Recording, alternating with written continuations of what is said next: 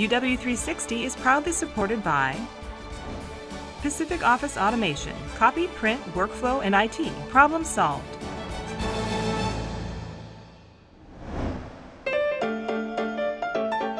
The UW is the oldest university in Washington state, and yet only one building on campus is nationally registered as a historical site.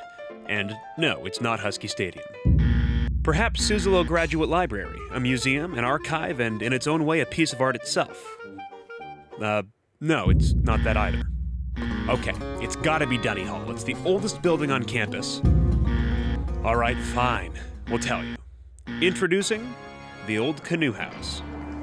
Settled on the edge of the west shore of Union Bay, almost lost in the bustle of sailors, rowers, canoers, and traffic headed through the Montlake Cut, the humble canoe house conceals decades of history in the beautiful scenery. I mean, I had the best memories here last summer, last spring, and so I decided to just bring out my date.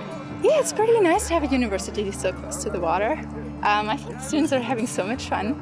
It was beautiful. It was absolutely beautiful. There's really no other way to describe it. We're so lucky to be here and to like have this spot. The Canoe House has been home to the Army and Air Force in both World Wars, families, university classes, canoe rental businesses, and sailors. It stands as a living memory to all that is water going at the UW.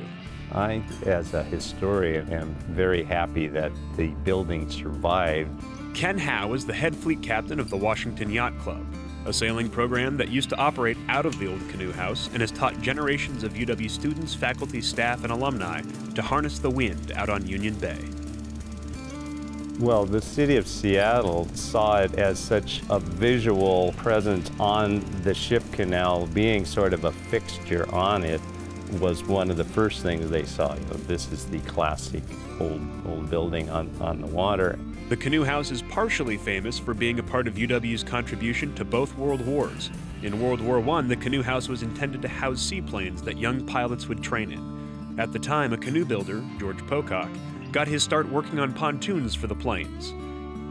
He would go on to build racing shells in the Canoe House for the famous Boys in the Boat, the crew team that took home the gold at Hitler's infamous 1936 Olympic Games. These are some of the original red cedar rowing shells that George Pocock built in this building in his small upstairs workshop. And so we are seeing it like it would have been viewed when somebody came down from the workshop and went down to ready a boat.